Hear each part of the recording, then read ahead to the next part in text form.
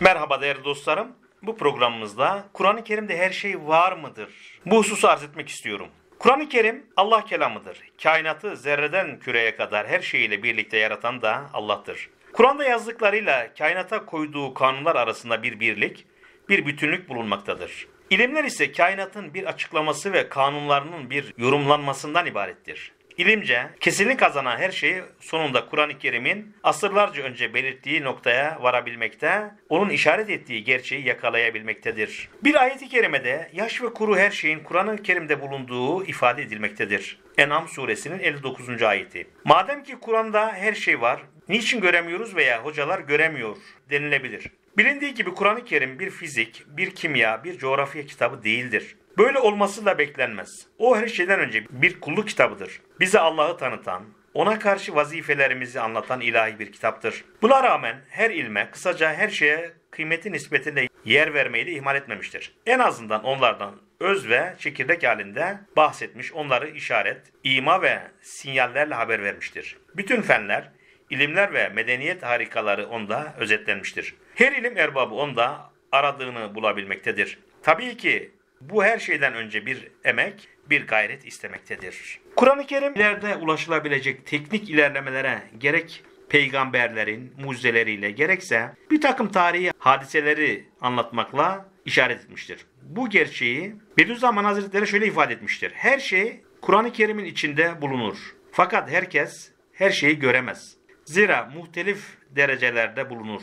Bazen çekirdekleri, bazen nüveleri, bazen icmalleri, bazen düsturları, bazen alametleri ya sarahaten açık olarak ya işareten ya remzen ya ibhamen üstü kapalı olarak ya ihtar tarzında bulunur. Fakat ihtiyaca göre ve maksadı Kur'an'a münasip bir tarzda ve iktizayı makam münasebetinde makamın gereği olarak şu tarzların birisiyle ifade ediliyor ez cümle. Beşerin sanat ve fen cihetindeki terakkiyatının yani ilerlemelerinin neticesi olan havariki sanat, sanat harikaları ve fennin şaşırtıcı ilerlemeleri olan uçak, elektrik, tren, telgraf gibi şeyler vücuda gelmiş ve beşerin hayatı maddiyesinde en büyük mevki almışlar. Elbette umum nevi beşere hitap eden Kur'an-ı Hakim şunları mühmel bırakmaz yani ihmal etmez. Evet bırakmamış.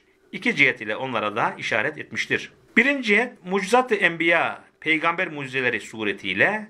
İkinci kısım şudur ki bazı hadisat-ı tarihiye suretiyle işaret eder.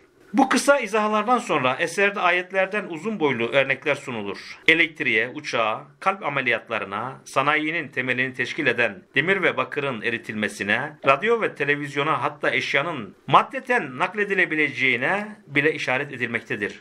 Bu konuda bir iki örnek sunalım. Süleyman Aleyhisselam bir günde iki aylık mesafeyi uçarak gittiğinden bahseden ayet yani Sebe 12. ayet nakledildikten sonra şu açıklamalara yer verilmektedir. İşte bunda işaret ediyor ki beşere yol açıktır ki havada böyle bir mesafeyi kat etsin. Öyleyse ey beşer madem sana yol açıktır bu mertebeye yetiş ve yanaş. Cenab-ı Hak şu ayetin lisanıyla manen diyor ki ey insan bir abdim yani kulum hevai nefsini yani nefsin arzusunu terk ettiği için havaya bindirdim. Siz de nefsin tembelliğini bırakıp bazı kavanini adetimden tabiata koyduğum kanunlardan güzelce istifade etseniz siz de binebilirsiniz. Hazreti Süleyman'ın Yemen'de bulunan Belkıs'ın tahtını göz açıp kapatıncaya kadar getirtmesi mucizesiyle ilgili ayet Neml suresi 40. ayet. Belirtildikten sonra bu ayet işaret ediyor ki uzak mesafeden eşyayı aynen veya sureten ihzar etmek, nakletmek mümkündür denilmektedir. Bugün bu ayeti kerimenin işaret ettiği eşyanın sureten nakli televizyonla gerçekleşmiş durumdadır. Eşyanın aynen nakli ise